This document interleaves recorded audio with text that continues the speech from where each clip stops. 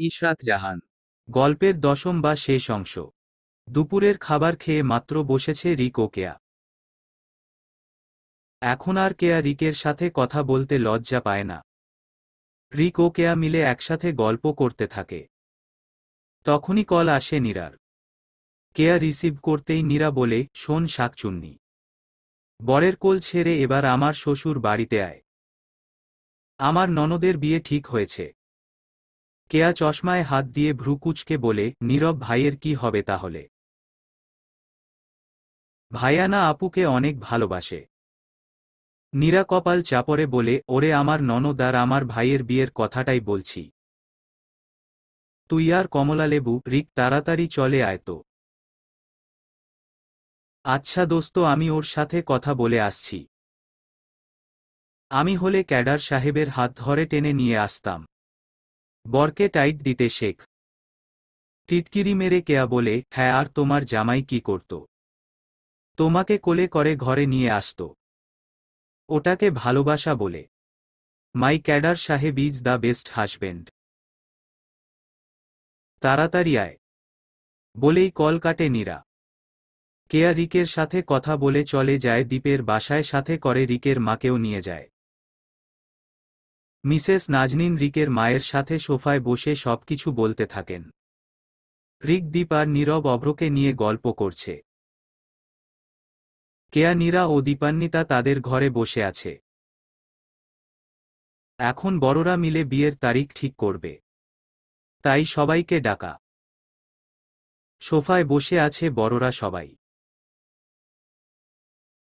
দীপান্বিতা ঘরে ছিল, নীরা টেনে নিয়ে এসেছে। ড্রয়িং রুমের সাথে খাবার টেবিল। সেখানে বসে মেয়েরা আলাপ শুনছে। পুরুষ মানুষ সাথে দ্বীপ ও রিক বসেছে সোফায়। মিস্টার সমুদ্র বলেন, সামনে তো রোজা। আপনাদের কি ইচ্ছা রোজার ঈদ শেষ করে বিয়ে দেওয়ার? দ্বীপ বলে ওঠে, এত দেরি করার কি দরকার? অলরেডি এদের রিলেশনশিপ ডেপ ছিল অনেক। তাই আমার মনে হয় এদের বিয়ে তাড়াতাড়ি দেওয়াই ভালো। মিস্টার সমুদ্র বলেন, শুভ কাজে দেরি করতে নেই। আমরা তাহলে কবে থেকে বিয়ের আয়োজন শুরু করব? বাবার কথার উত্তরে দীপ বলে, আমরা কাল থেকেই আয়োজন শুরু করি। এই মাসের মধ্যেই বিয়ে দেওয়ার ব্যবস্থা করলেই ভালো হয়। আমার আপাতত কলেজের প্রেশার নেই। নীরা আপত্তি জানিয়ে বলে কিন্তু এই মাসে তো হাতে গোনা দশ বারো দিন আছে। কীভাবে কি করব? আমরা সবাই আছি তো। ম্যানেজ হয়ে যাবে। এই মাসের মধ্যে বোনের বিয়ে হলে আমিও একটু শান্তিতে বোনের বিয়ে এনজয় করতে পারব। সবাই খুশি হয়ে দ্বীপের কথাতে রাজি হল। কালকে থেকেই কেনাকাটা শুরু করবে। লোকজন ডাকবে। তারপর ধুমধাম করে বিয়ে হবে দীপান্বিতা ও নীরবের। নীরা চোখ ছোট ছোট করে তাকালো দ্বীপের দিকে। কিন্তু এত লোকজনের ভিতর কিছু বলল না। রাতের খাবার শেষ করে নীরা ঘরে এসে দীপকে বলে, সত্যি করে বলুন। দীপ নীরার দিকে তাকিয়ে বলে, কি?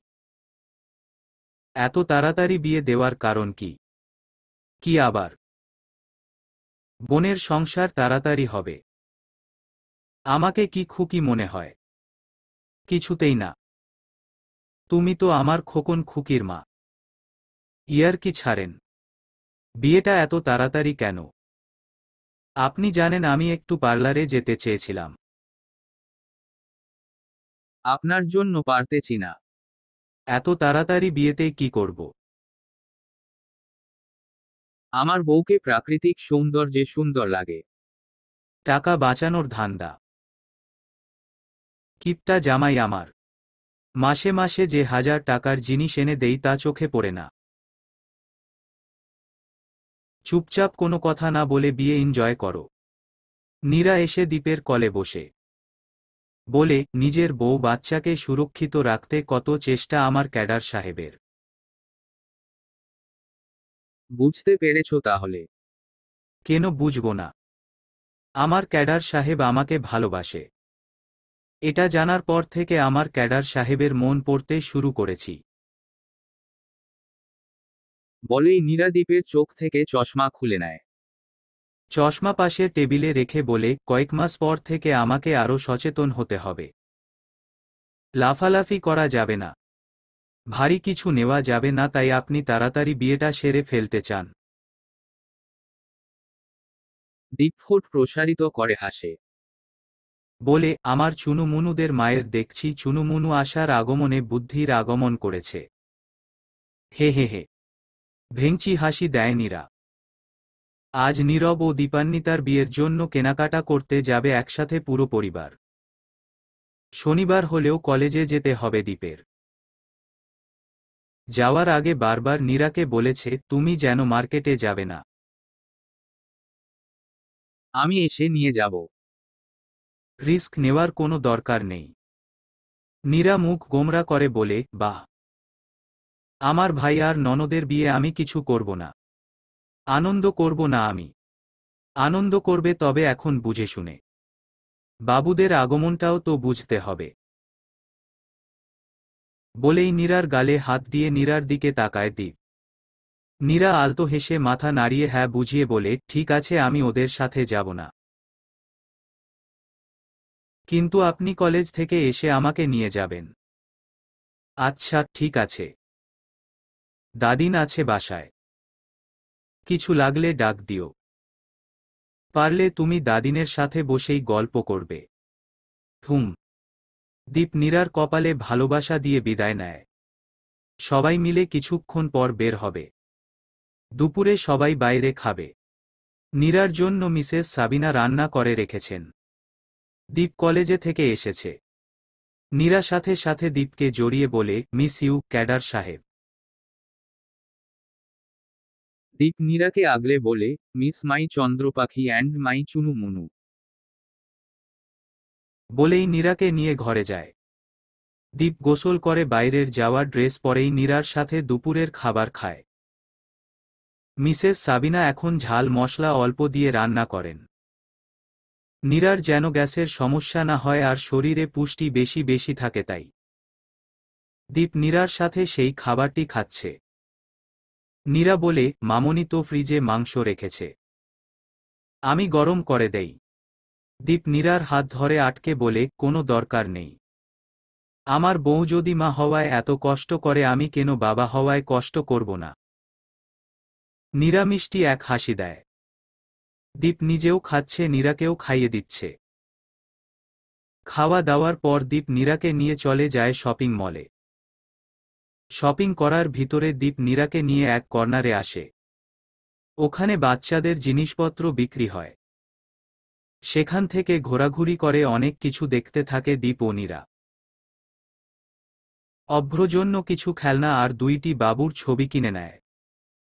একটি ছবি মেয়ে বাবুর, আরেকটি ছবি ছেলে বাবুর। মিসেস শিউলি বলেছেন, ঘরে বাচ্চাদের ছবি টাঙায়া ওই ছবি সারাদিন দেখবা। তোমার বাচ্চাটাও ওরকম সুন্দর হইব। দীপ কথাটি না মানলেও নীরার খুব ভালো লাগে কথাটি। নীরা বলে, আমার ওমন বাবুর দরকার নেই। আল্লাহ যেমন দিবে তাতেই খুশি। কিন্তু আমি এমনিতেই ঘরে বাবুর ছবি চাই। ওদের দেখলে আমি অনুভব করব যে আমাদের চুনুমুনু আমার গর্ভে আছে। এমনিতেও ওরা আমাকে উষ্টা দিয়ে উগান্ডায় পাঠাবে। কিন্তু তারপরও আমি চাই বাবুদের ছবি। নীরার আবদার দ্বীপ না করতে পারে না। তাই নীরাকে নিয়ে বেবি শপ থেকে কিনে দেয় বাবুদের ছবি। রাতের বেলা নীরা ব্যাগ ব্যাগ করতে থাকে। দীপ ঘরে এসে নীরাকে ব্যাগ ব্যাগ করতে দেখে অবাক হয়। বলে, এখন ব্যাগ ব্যাগ করছ কেন? কোথাও তো যাওয়ার কথা না আমাদের। আমরা নয় ক্যাডার সাহেব, আমি একা যাব। আমার বাসায়। কেন? কি হয়েছে? নীরা কোনো উত্তর না দিয়ে ব্যাগ ব্যাগ করছে। দীপ নীরাকে নিজের দিকে ঘুরিয়ে বলে, কি হয়েছে বলবে তো? আপনি কি কিছুই বুঝেন না, ক্যাডার সাহেব? আতঙ্কে দীপ বলে, কি বুঝব আমি? দীপের চোখে মুখে আতঙ্কের ছাপ। যেন সে কি করেছে কিছুই বুঝতে পারছে না। বুঝবে কীভাবে? সে তো কিছুই করেনি। নীরা হাসতে থাকে। বলে, আমার ভাইয়ের কাল গায়ে হলুদ। আমাকে কি এখানে থাকলে হবে? তাই বাপের বাড়ি যাচ্ছি। দীপ নীরার ব্যাগ থেকে জামা কাপড় নিয়ে আলমারিতে রাখতে রাখতে বলে কোথাও যাবে না তুমি। এখানেই থাকবে। ব্রুকুচকে নীরা বলে মানে কি? মানে এই যে ভাইয়ের বিয়েতে জয়েন তুমি বরের বাড়ি থেকেও হতে পারবে। ধুর। দুদিন পর ভাই আমার বউ নিয়ে ব্যস্ত থাকবে। আজ একটু আড্ডা দিব ভাই বোন মিলে। আপনি বাধা দিবেন না। ভাই বোনের সময় সারাদিন পড়ে থাকবে। এখন রাতের সময় স্বামীর দিকে দেখো। আমি এখন স্বামীকে দেখার মুডে নেই ক্যাডার সাহেব। স্বামীকে দেখার মুড এনে দিব। কীভাবে? চুনু মুনুদের উপর আরও চুনু মুনু এনে। এই না। তোমার কোথাও যাওয়া হচ্ছে না। বিয়েতে এনজয় করবে ভালো কথা। কিন্তু আমার থেকে দূরে যেয়ে নয়। আমার বউ পাগলা ক্যাডার সাহেব। পাগলির বর হয়েছি পাগল তো হবেই। নীরা খুশি হয়ে জড়িয়ে ধরে দীপকে। ব্যালকনিতে বসে ফোনে কথা বলছে নীরব। ফোনের ওপর প্রান্তে দীপান্বিতা আছে। নীরব দীপান্বিতাকে বলে, অভ্র কি ঘুমিয়ে গেছে? হ্যাঁ। তাহলে তুমি ব্যালকনিতে আসো। দেখব তোমাকে। গায়ে হলুদের আগের দিন কি দেখা করা ঠিক হবে? একদম ঠিক হবে। আসো তুমি। এই চাঁদের আলয়ে আমি আমার মায়াবন বিহারিনীর মুখ দেখতে চাই। আচ্ছা আসছি। বলেই দরজা খুলে ব্যালকনির দিকে আসলো দীপান্বিতা। মুখে তার লাজুক হাসি। নীরব আর দীপান্বিতা আগেও এভাবে অনেকবার দেখা করত। দীপান্বিতা হাসলে গালে টোল পড়ে। সরাসরি নির্বের সামনে দীপান্বিতা হাসলে নীরব এক দৃষ্টিতে দেখত তাকে। দূরে দাঁড়িয়ে দীপান্বিতাকে ফোনে জিজ্ঞাসা করে, তোমার গালে আগের মতো কি সেই টোল পড়ে? দীপান্বিতা হেসে দেয়, সোডিয়ামের আলো জ্বলতে থাকে চারপাশে। সেই আলোতে দীপান্বিতাকে স্পষ্ট দেখতে পায় নীরব। দীপান্বিতার মুখে টোল দেখা যাচ্ছে। নীরব বলে, আয় হায় মায়াবন বিহারিণী। আরও কিছু বলতে যাবে তার আগে নীরা তার রুমের দরজা খুলে ব্যালকনিতে এসে বলে, কি ভাই? কাল গায়ে হলুদ, আজ হবু ভাবিকে দেখার এত তারা। তাড়াতাড়ি ফোন কেটে দেয় দীপান্বিতা। নীরব বলে, তুই ঘুমাসনি। কাল তো অনুষ্ঠান। সকাল সকাল কাজ করতে হবে। তোমার গায়ে হলুদের জন্য যখন এতটাই তাড়াহুড়া, তাহলে তুমি ঘুমাও না কেন? শুধু শুধু আমার ননদিনীর সাথে প্রেম করো তাই না? তোর ননদিনী আমার হবু বউ। লজ্জা করে না বিয়ের আগের দিন এভাবে দেখা করে, ফিসফিস করে কথা বলতে। নিজের হবু বউকে নিয়ে নিজে ফিসফিস করছি। তোর বাপের কি? আমার বাপের টাকায় গড়া বাড়িতে বসে প্রেম করো। এতেই আমার অনেক। ওটা আমারও বাপ। আমিও আমার বাপের টাকায় বানানো বাড়িতে বসে প্রেম করছি। যাত শান্তিমতো প্রেম করতে দে। এবার নীরা চিল্লিয়ে বলে, দেখেছেন ক্যাডার সাহেব। বিয়ের আগে আপনার বোনের সাথে আমার ভাই প্রেম করছে। আবার আমার বাপের বাড়ি নিয়ে খোটা দিচ্ছে। নীরব এবার নীরাকে আস্তে করে বলে, বোন আমার তোর বাপ মানে আমারও বাপ, এখন যদি ঘুম ভেঙ্গে যায় তার। রক্ষা নেই আমার আর। দাঁত বের করে হেসে নীরা বলে, বাপ নিয়ে খোটা দিয়ে তুমি করেছ পাপ। এবার সামলাও তোমার হাব ভাব। বলেই দীপান্বিতার দিকে উকি দিয়ে তাকায় নীরা। দীপান্বিতা হা হয়ে এদের ভাই বোনের কাহিনী দেখতে থাকে। নীরা দীপান্বিতাকে উদ্দেশ্য করে বলে, সেই তো বিয়ে করব না, বিয়ে করব না করেছিলে। এখন আবার প্রেম করছ। আমি ভেবেছিলাম আমার ভাইকে বাসর ঘরেও নাকানি চুবানি দিবে তা না। উল্টো বিয়ে ঠিক হতেই দেখছি ননদ আমার বরভক্ত। দীপ নীরার পিছনে দাঁড়িয়ে নীরাকে বলে, সবাই কি তোমার মতো নাকি? নীরা দ্বীপের দিকে ফিরে তাকায়। সেই সুযোগে নীরব ও দীপান্বিতা নিজেদের ঘরে দৌড় দেয়। নীরা খেপেছে মানে সারারাত তর্ক বিতর্ক হবে। নীরা দীপকে উদ্দেশ্য করে বলে, আমার মতো মানে। এই যে তোমার নজরে বর ছাড়া সারা দুনিয়া আছে। বর কি চায় তা তো দেখো না। দেখবে কীভাবে? তোমার চোখে তো আছে সারা দুনিয়ার কে কে প্রেম করে এগুলো দেখায়। আমি আমার বরকে দেখি না। মোটেও না। বুড়ো বরকে কি দেখব হ্যাঁ? এখন আমি বুড়ো। অবশ্যই। যার হবু চুনুমুনু আমার পেটে, সে তো আস্তে আস্তে বুড়ো হতেই যাচ্ছে। কয়েক বছর গেলেই তো বাচ্চাদের বিয়ে দিয়ে শ্বশুর হবেন। ওহ! আমি বাচ্চাদের বিয়ে দিয়ে শ্বশুর হব, বুড়ো হব। আর তুমি বাচ্চাদের বিয়ে দিয়েও কচি খুকি থাকবে। আপনি কি জেলাস? গায়ে ঠেলে ঝগড়া করছেন কেন? বউ আমার বাচ্চা দেওয়ার আগেই বুড়ো উপাধি দিল। এই দুঃখ আমি কই রাখি? হো হো করে হেসে দেয় নীরা। দীপ নিজেই হাসতে থাকে নীরার সাথে। তারপর চলে যায় ঘরে।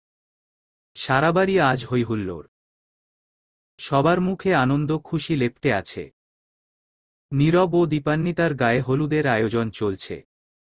ছেলেরা আজ লুঙ্গি আর পাঞ্জাবি পরবে। মেয়েরা হলুদ রঙের শাড়ি পরবে। এটা নীরার ইচ্ছা। ও টিভিতে গ্রাম্য বিয়ে দেখেছিল। তখন থেকেই ওর ইচ্ছা এমনভাবে ভাইয়ের বিয়ে দেওয়ার। নীরা ঘরে বসে শাড়ির কুচি ঠিক করার চেষ্টা করে। কিন্তু পারছে না ঠিক করতে। কীভাবে শাড়ি ঠিক করবে? শাড়ির কুচি ঠিক করতে গেলে যে তাকে ঝুঁকতে হবে। এদিকে ডাক্তার তাকে ঝুঁকতে না করেছে। নীরার কুচি ঠিক করার চেষ্টার মধ্যেই এক জোড়া হাত নীরার কুচিগুলো ধরে নেয়। নীরা হাতের মালিকের দিকে তাকিয়ে স্মিত হাসে।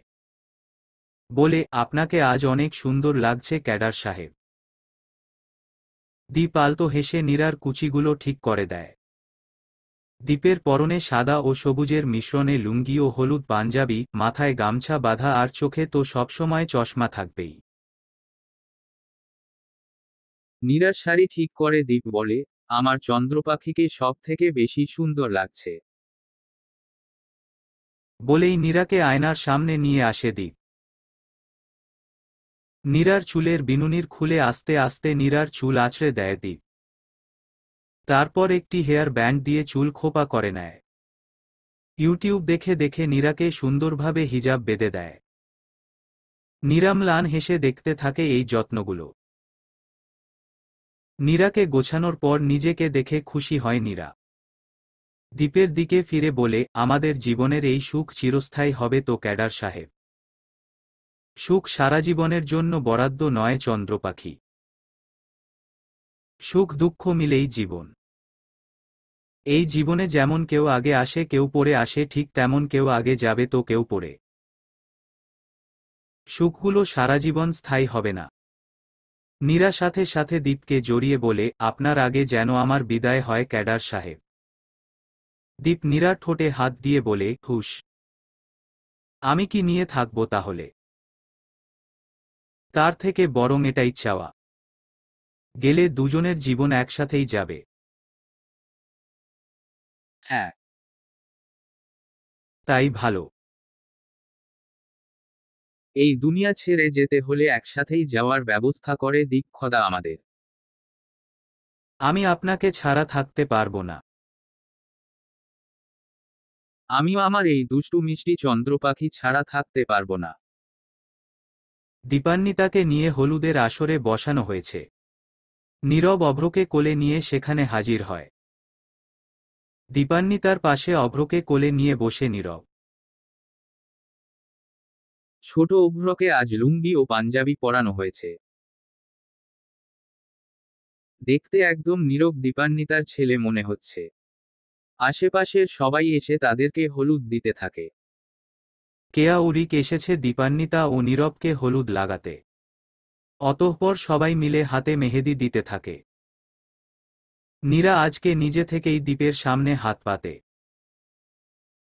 বলে, নিন আপনার এলোমেলো জিলাপির প্যাচ দিয়ে আমার হাত রাঙিয়ে দিন। সবাই হেসে দেয় নীরার কথায়। দীপ আজকেও নীরার হাতে মেহেদি দিয়ে দেয়। রিক এসে কেয়ার হাত নিয়ে বসে। বলে, তোমাকেও মেহেদি দিয়ে হাত রাঙিয়ে দিব চশমিশ। কেয়া স্মিত হেসে বলে, ঠিক জিজুর মতো করে জিলাপির প্যাচ দিবেন তাই না সাদা বিলাই। যেটাই দেই না কেন। তোমার বর দিচ্ছে ভালোবেসে। বলেই সবাই হাতে মেহেদি দিতে থাকে। দীপ নীরা একপাশে, রিক কেয়া একপাশে আর মাঝখানে দীপান্বিতার দুই হাত ধরে আছে পার্লারের মেয়েরা। দীপ নীরার হাতে মেহেদি দিয়ে দিচ্ছে আর রিক কেয়ার হাতে। পার্লারের মেয়েরা দীপান্বিতার হাতে মেহেদি দিতে থাকে। নীরব অভ্র মিলে দীপান্বিতার পাশে বসে আছে। দীপান্বিতার হাতের মেহেদি দেখতে থাকে। মেহেদি দেওয়া শেষ হলে সবাই মিলে নাচ গান শুরু করে। সবার নাচ দেখে বেচারি নীরা নাচতে যেতে চায়। কিন্তু দীপ নীরার বাহু ধরে আটকিয়ে বলে, একদম নাচানাচি করবে না। চোখ মুখ কুচকে নীরা বলে বাহ ভাইয়ের বিয়েতে আনন্দ করতে পারব না। ভাইয়ের বিয়েটা তাহলে চেঞ্জ করে এক বছর পর করে দেই। তখন আনন্দ করো শান্তি মতো। এই না না। এমনিতেই ভাই আমার দেবদাস হয়েছিল। এখন আবার ডেট পিছাইলে দুঃখে সন্ন্যাসী হয়ে যাবে। নাচ গান শেষ করে সবাই সবার বাড়িতে চলে আসে। নীরা রুমে এসে হলুদের সাজ খুলতে থাকে। দীপ নীরাকে সাহায্য করে দেয়। নীরা দ্বীপের দিকে তাকিয়ে বলে, আমার বউ পাগলা ক্যাডার সাহেব। বলেই হেসে দেয় দুজনে। নীরব ও দীপান্বিতার বিয়ের অনুষ্ঠান শুরু হয়েছে। দীপান্বিতাকে সাজিয়ে গেছে পার্লারের লোকজন। দীপের কথা রাখতে নীরা সাজেনি। অভ্র বসে বসে দীপান্বিতার সাজ দেখতে থাকে। নীরা ব্যাগ প্যাক করছে এখন। দীপ এসে দেখে নীরার ব্যাগ প্যাক করা। দীপের তাকানো দেখে নীরা দাঁত বের করে হেসে বলে, টেনশন নট, ক্যাডার সাহেব। আপনার বউ কোথাও যাচ্ছে না যাচ্ছে আপনার বোন। আশেপাশের লোকজন হো হো করে হেসে দেয়। মিসেস সাবিনা এসে খাইয়ে দেয় দীপান্বিতাকে। নীরা পেটের দিকে তাকিয়ে বলে, জানিস চুনুমুনু তোদের দাদি আমাকে একটুও ভালোবাসে না। তোকেও না। মিসেস সাবিনা অবাক চোখে তাকিয়ে বলেন, ওমা, আমার কোন কাজে এমন মনে হল? এই যে মেয়ের বিদায় বলে এখন খাইয়ে দিচ্ছ। আমাকে তো দেও না। মিসেস সাবিনা এবার নীরাকে নিজের কাছে এনে দীপান্বিতা ও নীরাকে খাইয়ে দিতে থাকে। অভ্র চোখ পিটপিট করে তাকায়। মিসেস সাবিনা দুজনকে খাইয়ে দিয়ে অভ্রকে খাইয়ে দেন। দীপকে দেখে মিসেস সাবিনা বলেন, কনে বিদায়ের সময় কনের সাথে ভাই যায়। তাই আজ তোরা দুজনে ওই বাড়িতে থাকবি। মায়ের কথা শুনে দীপ রাজি হয়। নীরা খুশিতে লাফায়। দীপ সাথে সাথে চোখ গরম দিয়ে তাকায় নীরার দিকে। নীরা জিওভা কামড় দিয়ে বলে, সরি। দীপান্বিতা ও নীরবের বিয়ে পড়ানো সম্পূর্ণ হল। এখন এদের বিদায় দেওয়ার সময়। দীপান্বিতা শুধু অভ্র দিকে তাকিয়ে আছে। অভ্র এতক্ষণ খুশি থাকলেও সবার মুখে নীরবতা দেখে তাকিয়ে আছে ফ্যালফ্যাল করে। দীপান্বিতা জড়িয়ে ধরে অভ্রকে। বলে, আমার বাবাই। মানা হলেও মায়ের ভালোবাসা আদর দিয়ে বড় করেছে অভ্রকে। মায়ার বাঁধন কি ছেড়ে দেওয়া যায়? দীপান্বিতা জড়িয়ে কান্না করছে। নীরব এসে দীপান্বিতার কাঁধে হাত রাখে। মুখ উঁচিয়ে নীরবের দিকে তাকায় দীপান্বিতা। নীরব বলে, অভ্র আমাদের ছেলে। ওকে আমরা দুজনে মিলে মানুষ করব। চিন্তার কিছুই নেই। খুশি হয় দীপান্বিতা। মিসেস সাবিনা এসে বলেন, আজকে নানুভাই আমাদের সাথে থাকবে। তাই না, নানুভাই? অভ্র সহমত দেখিয়ে বলে হ্যাঁ। আজকে আমি নানু ননাভাইয়ের সাথে থাকব। নীরা এসে বলে হ্যাঁ। থাকবে তো নানুর সাথে। এখন চলো আম্মুর সাথে আমরা তোমার আব্বুর বাসায় যাই। না না ওটা তো তোমার আব্বুর বাসা না ওটা তোমার মামির বাসা। নীরব নীরাকে খেপিয়ে দিতে বলে বললেই হলো এখন তোর বাসা এটা। অবশ্য এটা এখন আমার শ্বশুর বাসা। আমার বাসা তো ওটা। Listen bro. এটা আমারও শ্বশুর বাসা। আমার বাবা মা ভুল বশত তোমাকে আগে পৃথিবীতে এনেছিল। কিন্তু আসলে তো ওটা আমারই বাসা। বাবা মা তোকে ভুল করে পৃথিবীতে এনেছিল। মোটেই না। তুমি ভুলে এসেছ। আমি না তুই। হবে না তুমি ভুল করে এসেছ। লেগে গেছে দুই ভাই বোনের ঝগড়া। কনে বিদায় মানুষ কান্না করবে নাকি বর আর বরের বোনের ঝগড়া দেখবে। অবশ্য এখানে সবাই নীরা ও নীরব সম্পর্কে অবগত। নীরা যেখানে আছে সেখানে কোনো কিছু সুস্থভাবে হওয়া সম্ভব। কখনোই না। দীপান্বিতা পর্যন্ত হাসতে থাকে তার বিদায় সময়। দীপ এসে নীরাকে পাজাকোলা করে নিয়ে বলে আমি ওকে নিয়ে যাচ্ছি। আপনারা আসতে থাকুন। নীরা লাফাতে লাফাতে বলে ছাড়ুন ক্যাডার সাহেব। আমার বাবার বাসা নিয়ে কথা শোনায়। ওর বিয়ে হয়েছে তো কি হয়েছে? বরের মাথা আমি আজ টাক করে দিব। বলতে বলতে দ্বীপ নিয়ে চলে যায় নীরাকে। বাকিরা ধীরে সুস্থে আসতে থাকে। দীপান্বিতা এসেছে নিজের শ্বশুরবাড়ি। মিসেস নাজনীন দীপান্বিতাকে মিষ্টি খাইয়ে ঘরে প্রবেশ করে। তারপর নীরার ঘরে নিয়ে যায়। দীপ অভ্র ও রিক নীরবের সাথে বাইরে আড্ডা দিতে থাকে। রাতের বেলা দীপান্বিতার মেকআপ মুছে হালকাভাবে সাজিয়ে দেয় নীরা ওকেয়া নর্মাল ভাবেই লাল রঙের বিয়ের শাড়ি পরিয়ে খোপায় রজনীগন্ধার গাজরা দিয়ে সাজিয়ে দেওয়া হয়। মিসেস নাজনীন তার ছেলের বউয়ের জন্য কিছু হালকা গহনা গড়িয়ে রেখেছিলেন। দীপান্বিতাকে ভারী গহনা খুলে এখন কানে হালকা কানের ফুল চিকন চেইন গলায় পরিয়ে দেওয়া হয়। অভ্রকে দীপ নিজের বাবা মায়ের কাছে রেখে এসেছে। এখন অভ্রর ঘুমের সময়। কোনো বাহানা না করেই ভালো ছেলের মতো অভ্র চলে গেছে মিস্টার সমুদ্র ও মিসেস সাবিনার কাছে। দীপান্বিতাকে আনা হয়েছে নীরবের ঘরে। হালকা সাজে সুন্দরভাবে ফুটিয়ে তোলা এই বাসর ঘর। দীপান্বিতা ও নীরব দুজনেই ভারী সাজ পছন্দ করে না।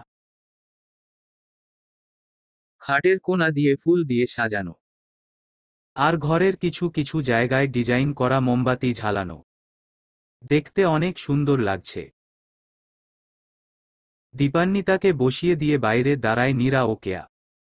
দীপ ও রিক মিলে নীরবকে নিয়ে আসে। নীরা ওকেয়াকে দাঁড়িয়ে থাকতে দেখে সবাই বুঝে যায় কি হয়েছে।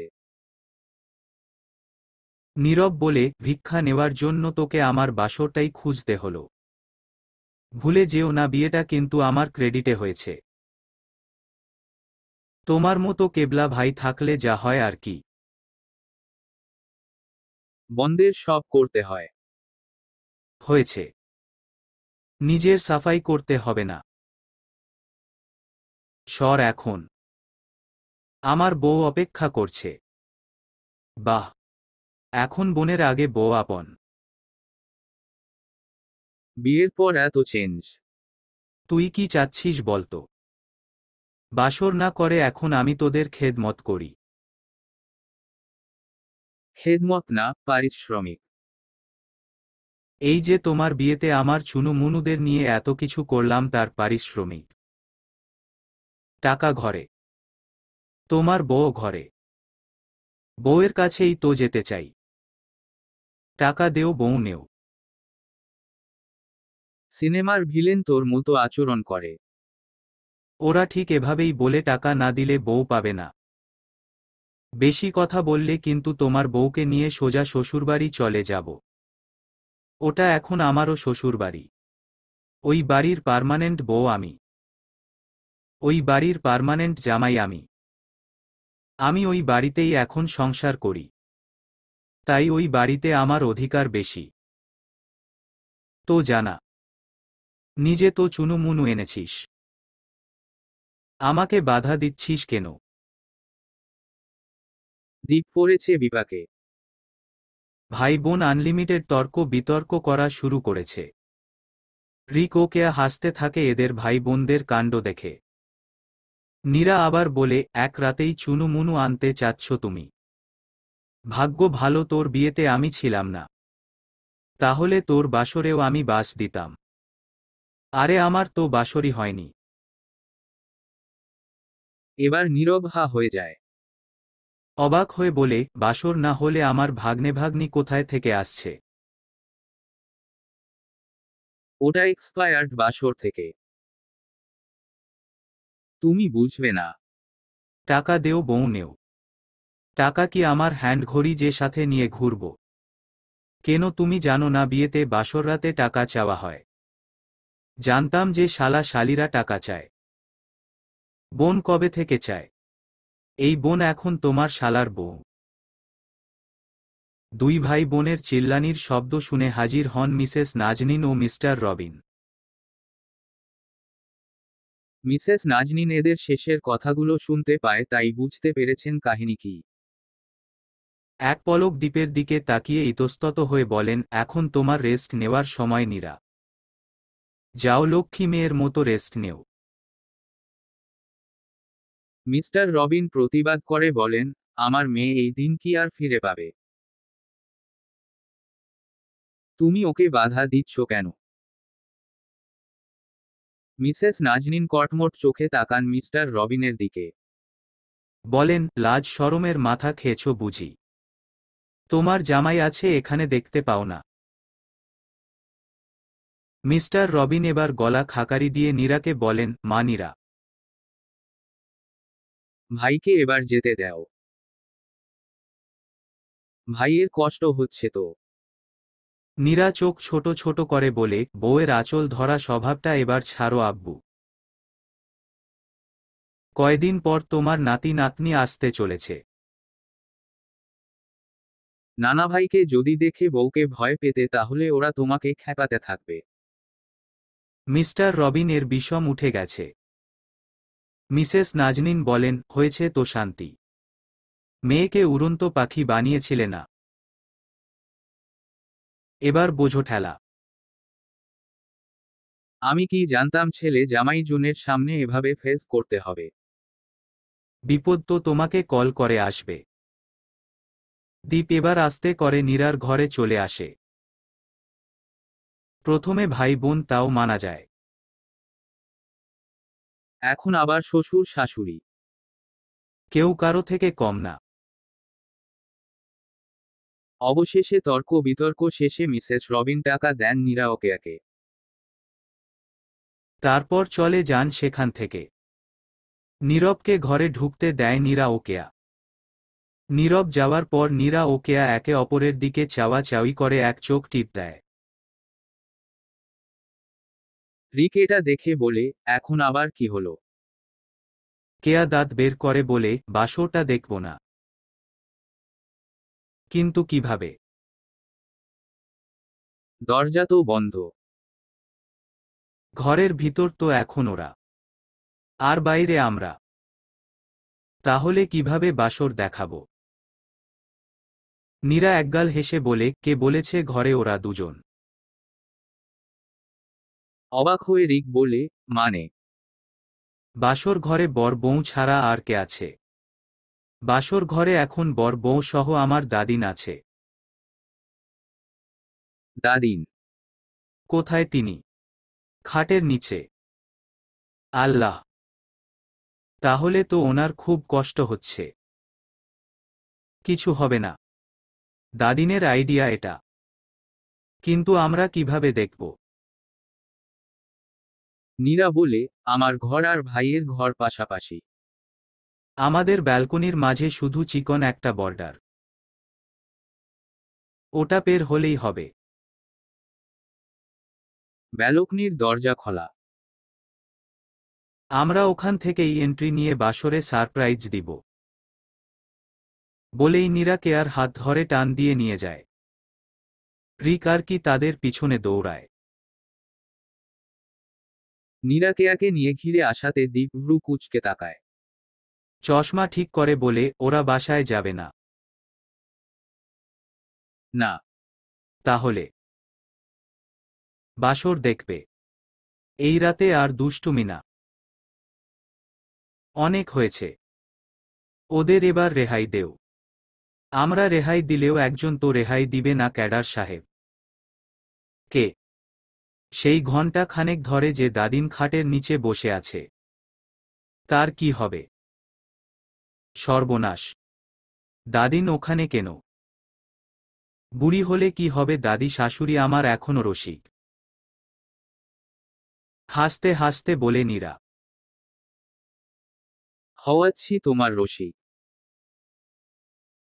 বলেই হাঁটা দেয় দীপ। নিরাপথ আটকে বলে, কোথায় যাচ্ছেন? নীরবের ঘরে। অঘটন ঘটানোর আগে দাদিকে বের করে আনতে হবে। আরে ধুর। বোনের বাসরে কেউ দরজা ধাক্কায়। নাতির বাসরে দাদি আড়িপাতে। ধ্যাত। আমার ক্যাডার সাহেব না কিছু বুঝে না। খালি বুঝে চুনুমুনু গিফট করা। আপনি কি বুঝবেন এসবের আনন্দ? কেয়া ও রিক মিটমিট হাসতে থাকে। দীপ এবার নীরাকে বলে shut up you shut up দিন দিন বুড়ো হচ্ছেন। আপনার থেকে দাদিন ভালো। বুড়ি হলে কি হবে মনটা কি সুন্দর কচি। বাড়াবাড়ি হচ্ছে কিন্তু। ভাই ভাবি অঘটন ঘটানোর আগে কি দাদিকে আনতে চান? হ্যাঁ। তাহলে আমাকে নিয়ে ব্যালকনিতে চলুন। কেন? ওখান থেকে আমরা ভাইয়ের ঘরে যাব। মাথা খারাপ। আমার মাথা ঠিক আছে। আপনার মাথা খারাপ। আপনি জানেন না, বাসরে আড়ি পাতা এটা যুগ যুগ ধরে চলে আসছে। কোনো কথা না। আমি দাদিনকে আনছি। তুমি চুপ করে এখানে বসে থাকো। ভে ভে ভে। কান্নার অভিনয় করে নীরা। দীপ বলে, কি হল? আপনি আমার একটা ইচ্ছাও পূরণ করেন না, ক্যাডার সাহেব। আপনি পচা। আমার পেটের বাবু আর আমি খুব কষ্ট পেয়েছি। তাই এখন আমি সারা রাত কান্না করব। বলেই কান্নার অভিনয় করে। দীপ বুঝতে পারল পাগলি খেপেছে। সারা রাত আর থামবে না। এই মেয়ের যে জেদ তাই দীপ বাধ্য হয়ে নীরাকে ব্যালকনিতে নিয়ে চিকন বর্ডার পার করে। তারপর নিজেও যায় নীরবের ঘরে। রিক ও কেয়াও সেভাবে আসে। খাটের নিচে বসে বসে কোমর ব্যথা হয়ে যাচ্ছে দাদিনের। কিন্তু নীরব ও দীপান্বিতার কোনো নড়চড় নেই। এটা বাসর নাকি কোনো শান্তি সমাবেশে এসেছে এটাই বুঝতে পারছেন না তিনি খাটের এক কোনায় নীরবের পা দেখা যাচ্ছে। এখনও কি দীপান্বিতার মুখ থেকে ঘোমটা ওঠায়নি? এমন চিন্তা ভাবনা করছেন দাদি। এদিকে ঘরের ভিতর চারজন ঢুকে পর্দার আড়াল হয়ে যায়। দীপ বলে, আমার প্রফেশনের সাথে কি এগুলো যায়? আপনার প্রফেশন ধুয়ে আপনি পানি খান। আমার বর হয়ে এগুলো আপনার সাথে যায়। পাগলি বিয়ে করেছিলাম আমি। ভুগতে তো হবেই। পাগলির জন্য কি কি করেছেন তা কিন্তু আমি জানি। এটাই আমার দুর্ভাগ্য। এদিকে রিক ও কেয়া বলাবলি করছে। রিক বলে, আমরা ভালো অ্যাডভান্স ছিলাম তাই না চশমিশ?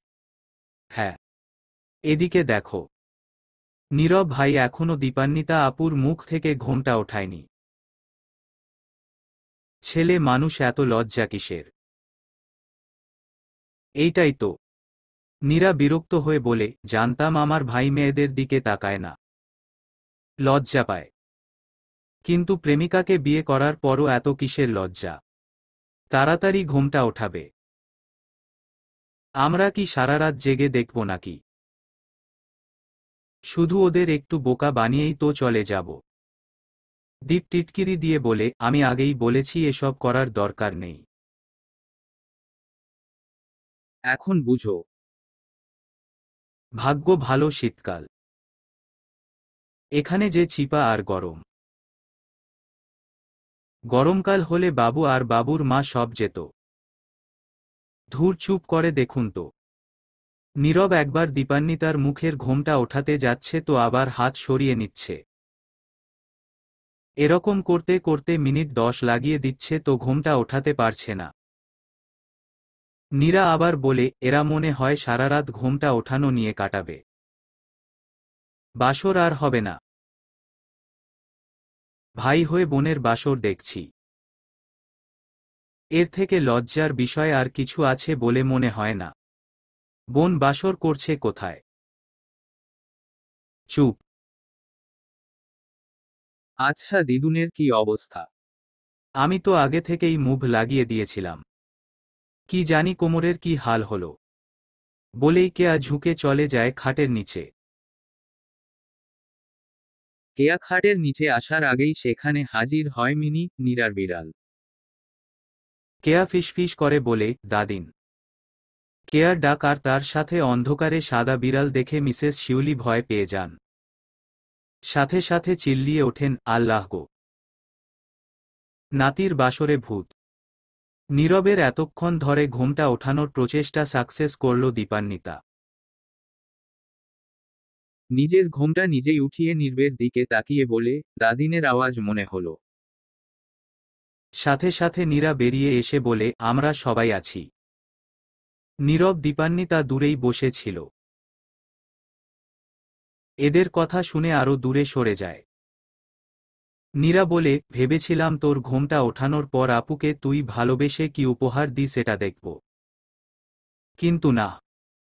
তুই তো দেখছি ক্যাডার সাহেবের থেকেও কেবলা। একজন এই প্রান্তে, তো আরেকজন ওপর প্রান্তে।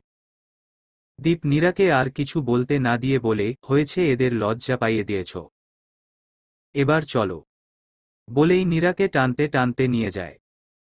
কেয়া মিসেস শিউলিকে উঠিয়ে দাঁত বের করে হাসতে থাকে। মিসেস শিউলি বলেন, আমার নাতবউ ঠোটকাটা হইলেও হোক কথার মালিক। তোমরা পুরুষেরা বাদাইম্মা বলেই কেয়ার হাত ধরে চলে যান। রিক কেয়ার পিছনে চলে আসে। বাইরে বের হয়ে সবাই অট্টহাসিতে মেতে ওঠে। বাচ্চারা বলো, এ ফোর অ্যাপলি। গুটি কয়েক বাচ্চারা মিলে চিল্লিয়ে বলে, এ ফোর অ্যাপলি। তারপর বলো, বি ফোর বাল। সবাই চিল্লিয়ে বলে ওঠে, বি ফোর বাল। এভাবে করে ছোট ছোট বাচ্চাদের ফ্রিতে পড়াতে থাকে নীরা। রিক নীরব ও দ্বীপের সহায়তায় কেয়া দীপান্বিতা ও নীরা আজ একটি এনজিও চালায়। সরকারি প্রশিক্ষণ এটি। নীরা ইংলিশ কেয়া বিজ্ঞান ও দীপান্বিতা অঙ্ক। তিন রমণী মিলে বাচ্চাদের প্রতিদিন পড়াশোনা করাই আশেপাশে গরিব বাচ্চা যারা আছে সবাইকে এই সংস্থায় বিনামূল্যে পড়াশোনা করাচ্ছে। সাথে করে তাদের বিভিন্ন সমস্যার সমাধান করে গত তিন বছর যাবৎ। সকাল নয়টা থেকে দুপুর বারোটা ক্লাস করাই তারা। এখন সবার ছুটির সময়। বারোটা বাজতেই ঘড়িতে শব্দ হয়। সাথে সাথে পড়া বন্ধ করে নীরা বলে, তাহলে বাচ্চারা, আজ তোমাদের এই পর্যন্ত ক্লাস। আজ আমি আসি। বাই বাই, ভালো থেকো। সকল ছাত্রছাত্রী মিলে বলে, আসসালামু আলাইকুম, ম্যাম। মিষ্টি হাসি দিয়ে নীরা উত্তর করে ও আলাইকুমুস সালাম। বলেই নীরা ক্লাস থেকে বের হয়ে দেখা করে কেয়া ও দীপান্বিতার সাথে। কেয়া ও দীপান্বিতা অন্যদের ক্লাস করিয়ে এসেছে। সবাই একসাথে এক জায়গায় এসে দাঁড়ায়। তারপর সবাই মিলে বাড়িতে যায়। নীরা বাসায় এসে দরজা খুলতেই নীরাকে এটাক করে তার দেড় বছরের যমজ দুই মেয়ে, দিশা ও নেহা। তুতলিয়ে বলে, আমাদের নিয়ে দাওনি কেন? নীরা ভাবুক ভঙ্গি করে বলে, আসলে মনে পড়ছে না। ও হ্যাঁ মনে পড়েছে। আমি কত করে চেয়েছি তোমাদের নিয়ে যেতে। কিন্তু তোমাদের বাবা কি পচা কি পচা? আমাকে বলে তোমার দুই বিচ্ছুকে নিব না। বলেই আমাকে টানতে টানতে নিয়ে যায়। নীরার কথা চোখ মুখ উঁচু করে শুনতে থাকে দিশা ও নেহা। বলে, পাপা পতা, পাপা বুলো। নীরা সারাদিন দীপকে বুড়ো বুড়ো বলে। তাই এখন বাচ্চারাও দীপকে বুড়ো বলে। হ্যাঁ আমার সোনামণিরা। আচ্ছা দাদিকে বেশি জ্বালাও নিত বলতে না বলতেই মিসেস সাবিনা এসে বলেন, তোমার মেয়ে হয়ে তারা জ্বালাবে না। এটা আদৌ মানতে হবে আমাদের। মিসেস শিউলি টিপ্পনি কেটে বলেন, তা নাতব এই আট বছরে তো মোট চারটা বাচ্চা নিয়েছ, এখন পেটেও এক জোড়া রাখছ, নীরার পেটের দিকে তাকিয়ে। আর কত নিবা? হ্যাঁ নীরা ও দ্বীপের এই লুকোচুরি গল্পের আট বছর হয়ে গেছে। এই আট বছরে নীরার জোড়ায় জোড়ায় মোট চারটি চুনুমুনু এসেছে। কেয়া ও রিকের দুইটি বাবু তবে যমজ না দুই বছর গ্যাপ দিয়ে একটি ছেলে ও একটি মেয়ে, হৃদ কোয়েল। দীপান্বিতার একটি মেয়ে বাবু হয়েছে, নিধি। নীরা নিজের পেটের দিকে তাকিয়ে মুখ ফুলিয়ে বলে, এবার আমি নিজেও হাঁফিয়ে গেছি দাদিন। পোলাপান যা হয়েছে, এই তাই মানুষ করতে কষ্ট হচ্ছে। বাকিগুলো নিয়ে কি করব? শখ মিটে গেছে। মিসেস শিউলি ও মিসেস সাবিনা হেসে দেন। নীরা বলে, দান আর দিহান, নীরার বড় যমজ ছেলে এখন সাত বছর চলে, এরা কোথায়? স্কুল থেকে আসেনি। মিসেস সাবিনা বলেন, তোমাদের বাবা ওকে আনতে গেছে। আর অভ্র নানাভাই আসবে কাল। তোমার বাবিও আই শোয়ার হবে তাই।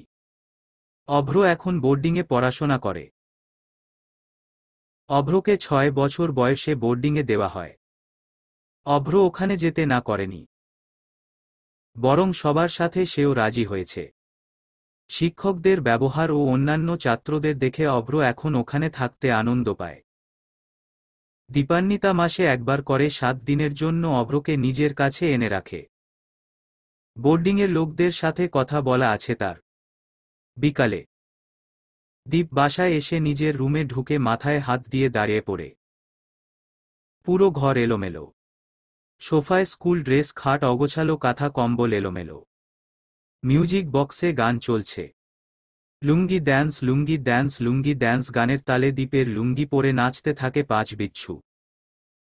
বাচ্চা ও মা সাথে করে পেটের ভিতর বেড়ে ওঠা সন্তান মনে হয় পেটেই ডিজে ড্যান্স করছে। তা না হলে এভাবে কেউ সাত মাস অবস্থায় লাফালাফি করতে পারে। মনের খুশিতে নাচানাচি করছে। দেখলে মনে হবে সে প্রেগনেন্ট না তার এমনি এমনি পেট বেড়েছে। তাও আবার ইয়া বড় এক পেট। নীরা মনের খুশিতে নাচতে থাকে কিন্তু হঠাৎ করে গান বন্ধ হয়ে যাওয়ায় নীরার নাচ বন্ধ হয়ে যায়। কিন্তু দিশা ও নেহা এখনও লাফিয়ে লাফিয়ে বলে, লুঙ্গি দান্ট লুঙ্গি দান্ট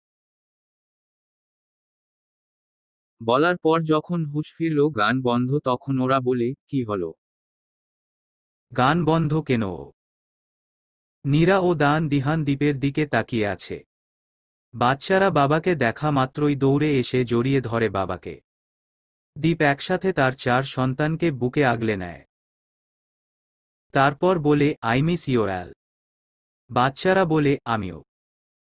দ্বীপ সবাইকে চকলেট দিয়ে বলে, পাপার গিফট। এখন তোমরা পাপকে গিফট দেও। চার বাচ্চা এসে দ্বীপকে চুনু দিয়ে দেয়। অতঃপর দ্বীপ নীরার কাছে আসে। বাচ্চারা চলে গেছে ছাদে। দ্বীপ বলে বাচ্চাগুলো তো এমনিতেই বিচ্ছু হয়েছে। পেটের গুলোকে কি আসার আগেই বিচ্ছু বানাবে? নীরা চোখ ছোট ছোট করে তাকিয়ে বলে, আমি আর পারছি না ক্যাডার সাহেব।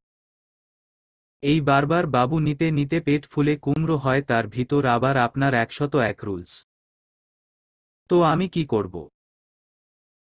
আমাকে চুনুমুনু গিফট করা বন্ধ করুন ক্যাডার সাহেব। এক ডজনের জন্য দাবি ছিল তোমার চন্দ্র পাখি আমার এখন শখ মিটে গেছে। এতগুলো বাচ্চা নিলে সরকার আমাদের উপর আইনি পদক্ষেপ নিবে। বলবে, এরা হল জনসংখ্যা বৃদ্ধির আসল কারণ। এদের জন্যই দেশের জনসংখ্যা বেড়ে আজ বাংলাদেশ দরিদ্র। হুম, বুঝলাম। এখন তাহলে আমি চুনুমুনু গিফট করা থেকে রিটায়ার্ড পেলাম। জি, ক্যাডার সাহেব। আসুন আপনাকে খাবার দেই। বলেই নীরা চলে যায় ভাত বাড়তে। দ্বীপ ফ্রেশ হয়ে চলে আসে। দুজনে একসাথে খাওয়া দাওয়া করে। বাচ্চারা বিকালে ঘুম থেকে উঠছিল না বলেই নীরা গান চালিয়ে নাচতে শুরু করে। অতঃপর দ্বীপ আসাতে এখন সব কাজিন মহল একসাথে হয়ে খেলাধুলা করছে। দীপান্বিতা ওকে মিলে প্লেট সাজাচ্ছে। বাবিওয়াই শোয়ারের থালা সাজানো হচ্ছে। এদিকে নীরাকে সবাই কিছু না কিছু খাওয়াবে। তাই বড় একটি প্লেটে খাবার সাজানো হয়। নীরাকে একটি শাড়ি পরিয়ে দেওয়া হয়েছে। মাথায় শাড়ির আঁচল দিয়ে ঢাকা। কেয়া ও দীপান্বিতা মিলে নীরাকে এনে বসিয়েছে নীরার আসনে। একে একে সবাই মিলে নীরাকে দোয়া করে দেয়। মিসেস শিউলি গুরুজন তাই তিনি নীরার হাতে বাবিওয়াই শোয়ারের থালা তুলে দেন। কিছু দোয়া পরে নীরার গায়ে ফু দিয়ে দেন। অতঃপর বলেন, আর পুতি চাই না গোনাত্ম আমার নাতির সম্পত্তি তো শেষ হয়ে যাবে। আরেক প্রতিবেশী রসিকতা করে বলেন তা বলি তোমার দাদুভাইও তো কম না। বিয়ের পরপর যে মেয়েটাকে বাচ্চা দিচ্ছে এখন বছরের পর বছর বাচ্চা দিতেই আছে।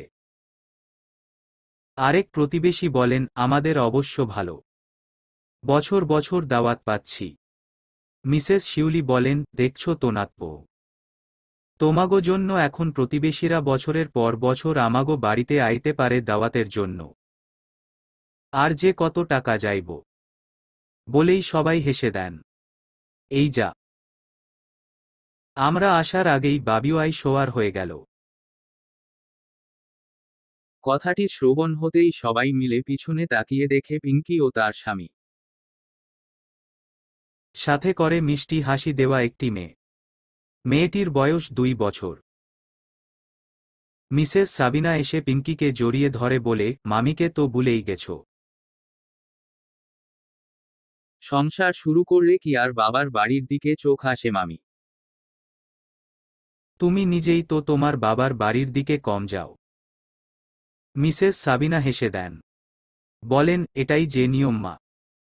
নীরা বলে, ভাগ্যিস আমাকে আম্মু জোর করে বিয়ে দেয়। না হলে আমাকেও আজ এটা ভুগতে হতো। দীপান্বিতা নীরার কাছে এসে বলে, শুধু কি তুমি লিটিল ভাবি? আমিও তো তোমার মতো লাকি। নীরা এক হাতে জড়িয়ে ধরে দীপান্বিতাকে। ঠিক তখনই দরজায় দাঁড়িয়ে অভ্র বলে, আম্মু। সাথে সাথে দীপান্বিতার চোখ যায় সেদিকে। দীপান্বিতা দৌড়ে এসে জড়িয়ে ধরে বলে, আমার বাবাই। আমার কলিজা। কত মনে পড়ে তোমার কথা। এই এসেছ আর যেতে দিব না। অভ্র বয়স বারো বছর। কয়েকদিন পরেই তেরো হবে। পঞ্চম শ্রেণীতে পড়ে অভ্র। বলে, আমাকে তো টপার হতে হবে। তবে আমি মামুর মতো না আব্বুর মতো বাইরে থেকে পড়াশোনা করতে চাই। আমার তামু তামান্না মায়ের স্বপ্ন পূরণ করতে চাই। অভ্রকে দীপান্বিতা সব সত্যি বলে দিয়েছে যখন অভ্র সাত বছর বয়স। প্রথম শ্রেণীতে ভর্তি করিয়ে অভ্রকে সব সত্যি বলে দেয় দীপান্বিতা। অন্যদের থেকে জানার থেকে ভালো সে সত্যি জানিয়ে নিজের কোলে আগলে রাখবে অভ্রকে। অভ্র তার জন্মের সময়ের ঘটনা জানার পর কিছুটা কষ্ট পেলেও সবার ভালোবাসায় তা ঢাকা পড়ে যায়। অভ্র চায় সে তার মৃত মায়ের স্বপ্ন পূরণ করবে। স্কুল জীবনে থাকতে তামান্না দীপান্বিতাকে বলতো, আমার প্রথম যদি ছেলে সন্তান হয়, ওকে উচ্চ শিক্ষিত করিয়ে বিদেশ পাঠাবো। তারপর তোর মেয়ে হলে তার সাথে বিয়ে দিব। দীপান্বিতা বলতো, আমার যদি মেয়ে না হয়। তামান্না মুখ শুকিয়ে বলতো, তাহলে তোর কোনো ভাগ্নি দেখে বিয়ে দিব। বলেই দুই বান্ধবী হেসে দিত। পুরনো কথা মাথা থেকে বিচ্ছেদ ঘটে নীরার চিৎকারে। নীরা জোরে চিৎকার করে বলে, ও মাগো মিসেস নাজনিন এতক্ষণ হাসাহাসি করলেও নীরার চিৎকারে আতঙ্কে তাকান নীরার দিকে। দীপ ও বাকি ছেলেরা ঘরে ছিল। মেয়েলি কাজে ওরা থাকতে চায়নি। নীরার ছটফটানিতে বাইরে চলে আসে ওরা। দেখতে পায় নীরা পেটে হাত দিয়ে বলছে, খুব পেটে ব্যথা করছে। ঘর ঘুরছে আমার। এমন তো এর আগে হয়নি। মিসেস নাজনীন ও মিসেস সাবিনা মিলে নীরার মাথায় তেল পানি দিতে থাকে। কেয়া ও দীপান্বিতা মিলে নীরার হাত পা মালিশ করছে। দীপ সাথে সাথে নীরার কাছে এসে বলে, কি হয়েছে? নীরা কান্না করতে করতে বলে, আমি মনে হয় আজ মারা যাব ক্যাডার সাহেব। খুব ব্যথা করছে। ওরা পেটের ভিতর খুব লাথি দিচ্ছে। ছেলে মেয়েরা মায়ের এমন অবস্থা দেখে আতকে ওঠে। কান্না করে দেয় নীরার কাছে এসে। নীরা তাকায় ওদের দিকে। কিন্তু কিছু বলতে পারছে না। রিক বাচ্চাদের কোলে নিয়ে আদর করতে থাকে। কিছুক্ষণ নীরাকে ঘরোয়া উপায়ে ডাক্তারের পরামর্শে চলার পরও যখন কাজ হয় না তখন ডাক্তারকে ফোন দিয়ে শুনতে পায় অনেক সময় প্রেগন্যান্সির সাত মাসেও ডেলিভারি হয়। এটাকে প্রি মেচিওর বেবি বলে। ওনাকে হসপিটালে আনতে হবে। নীরাকে কোলে করে নিয়ে দীপ গাড়িতে ওঠে। নীরাকে ধরে বসে আছে কেয়া ও দীপান্বিতা। নীরব তার পার্সোনাল ডক্টর ফ্রেন্ডের সাথে কথা বলে হসপিটালে নীরার ভর্তির ব্যবস্থা করে। বাচ্চাদের কান্নাকাটি বেড়ে যায় তাই বাধ্য হয়ে তাদেরকে নিয়ে হসপিটালে আসেন মিসেস নাজনিন। অন্যান্যরা আরও জিনিসপত্র গুছিয়ে নিয়ে আসছেন। হসপিটালে আসার পর নীরাকে দেখে ডাক্তার বলেন, ওনার ডেলিভারি করতে হবে। নীরাকে নিয়ে অপারেশন রুমে যাওয়ার আগে নীরা তাদেরকে বাধা দিয়ে বলে আমি আমার পরিবারকে কিছু বলতে চাই। দীপ্তরিত গতিতে নীরার কাছে এসে নীরার হাত ধরে বলে হ্যাঁ বলো চন্দ্র পাখি। নীরা বলতে শুরু করে আমি জানি না আমি বাঁচব কিনা যদি আমি মারা যাই আপনি যেন দ্বিতীয় বিয়ে করবেন না। সবাই হা হয়ে যায় নীরার কথা শুনে। দায়ান ও দিহান এগিয়ে এসে শুনতে থাকে মায়ের কথা। নীরা বলে, আপনি আরেকটি বিয়ে করলে সেই ঘরেও আরও সন্তান হবে। তখন আমার চার সন্তান সৎ মায়ের কাছ থেকে অনেক মার খাবে। মরার পর ভূত হয়ে আমি এসব দেখতে পারব না। দীপ বলে, মাথা কি গেছে নাকি? মরার পর ভূত। এসব কি কথা? নীরা চিল্লিয়ে পেইন সহ বলে হ্যাঁ হ্যাঁ ভূত। আপনি কি মনে করেছেন? আমি মরে গেলে আরেক বিয়ে করবেন। আসলে এটা হবে না। আমি ভূত হয়ে আপনাদের দেখব। যাতে আমার মৃত্যুর পর আপনি বিয়ে না করতে পারেন। মাথা গেছে তোমার। নীরা বলে হ্যাঁ আমার মাথা গেছে। লোকে যেমন দারোয়ান হয়ে চোর পাহারা দেয়, আমি তেমন ভূত হয়ে সতীন পাহারা দিব। মিসেস নাজনিন বিরক্ত চোখে তাকান। মেয়ের এতগুলো বাচ্চা হলো। হায়ার এডুকেশন কমপ্লিট করল, আবার এখন একজন উদ্যোক্তার সাথে ছোটখাটো শিক্ষক সে কি না এমন কথা বলে। দীপ নীরাকে আর কিছু বলতে না দিয়ে নার্সকে বলে, ওকে নিয়ে যান তো ভিতরে। বউ সহ বাচ্চাকে নিয়ে আসবেন। নীরা তার চার সন্তানকে জোরে জোরে বলে, শোনো চুনু মনুরা, তোমাদের মা মারা গেলেও ভূত হয়ে আসবে। তাই তোমরা পাপাকে আরেকটি বিয়ে করতে দিবে না। দান ও দিহান বলে ওঠে হ্যাঁ হ্যাঁ পাপাকে বিয়ে করতে দিব না। ভাইদের এমন বলতে দেখে দিশা ও নেহা বলে হ্যাঁ হ্যাঁ বিয়ে কলতে দিব না। সব ভাই বোন মিলে বলে, সৎ মা আসবে না, আনব না। আসবে না, আনব না। তুমি আম্মু, চিন্তা করো না। নার্স নীরাকে নিয়ে ভিতরে যাচ্ছে। নীরা জোরে জোরে বলে, আমি মারা গেলে ভূত হয়ে আপনার সব সম্পত্তি ভ্যানিশ করে আমার সন্তানদের নামে করে দিব। আপনি কিন্তু অন্য বিয়ে করার কথা মাথায় আনবেন না, ক্যাডার সাহেব। কারণ ভূতের অনেক পাওয়ার থাকে। তারা ম্যাজিক জানে। আমি ম্যাজিক করে আপনার দ্বিতীয় সংসার ভেঙ্গে দিব। দিশা ও নেহা তুতলিয়ে বলে, আনবে না ক্যাডাল তাহেব দ্বীপের মাথায় হাত। চার বিচ্ছু মায়ের মতো পাগল। বাকিরা হাসবে নাকি চিন্তা করবে বুঝতে পারছে না। নীরাকে অপারেশন রুমে নেওয়ার পর সবকিছু শান্ত হয়ে আছে। দীপ একটি বেঞ্চে বসে চিন্তা করতে থাকে। বাবাকে চিন্তা করতে দেখে বাচ্চাগুলো চুপ করে বাবার দিকে তাকিয়ে আছে। ছোট দুই দিশা ও নেহা কান্না করতে শুরু করে।